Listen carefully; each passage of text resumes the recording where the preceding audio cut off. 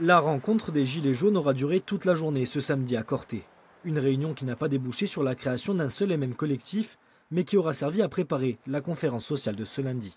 Pour avoir un peu donc euh, l'avis de tout le monde, savoir si on était dans une même ligne directive, et justement pour savoir de quoi on allait parler, quel sujet on allait aborder, voilà, tout simplement. Alors qu'en est-il? Quel sujet vous allez aborder? De quoi vous allez parler? Eh ben, Après, c'est toujours pareil. On va parler de la cherté sur l'île, on va parler des taxes au niveau de l'essence, on va parler des transports, on va parler de l'EDF, toujours pareil, ce qui nous touche en premier lieu.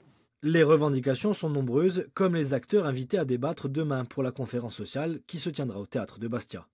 Élus, services de l'État, syndicats ou collectifs citoyens seront présents, mais aussi des représentants de la filière carburant et de la grande distribution. Car l'ordre du jour de cette conférence actée le 29 novembre dernier à l'Assemblée de Corse porte bel et bien sur la cherté du prix des carburants en Corse et le coût des produits de consommation courante. L'objectif de la collectivité est dans un premier temps de diagnostiquer dans les trois mois la nature et les causes du différentiel de prix entre la Corse et le continent, pour ensuite prendre des mesures visant à le gommer.